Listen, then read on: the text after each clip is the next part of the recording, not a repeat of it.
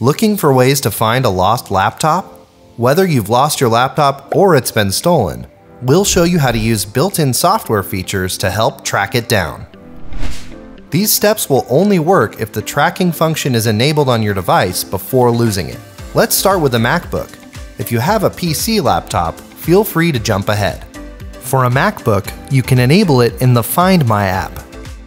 To find a missing Mac laptop, you can use the Find My app on any Apple device signed in with your iCloud account. Open the Find My app and select the Devices tab. Tap on your lost device and it'll show you its current location on the map. You can get directions to locate it, ping it with play sound so you can hear it if it's close by, or activate Mark as Lost to disable it. You can use this tool on a web browser by going to icloud.com/find and signing in with your iCloud account. Click on All Devices on the top of the screen and select your device from the drop-down menu. You can also use the play sound, lock, or erase features remotely.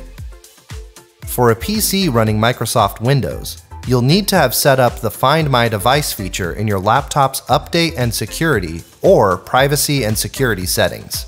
If your missing laptop is running Windows 10 or Windows 11 and you have it set up, you can access the Find My Device feature on any web browser. Go to account.microsoft.com/devices and sign in with your Microsoft account. Look for your lost device in the Devices section and click on the Find My Device tab to reveal its last location on the map. You can also click on Find to reveal the current location or use Lock to disable it remotely.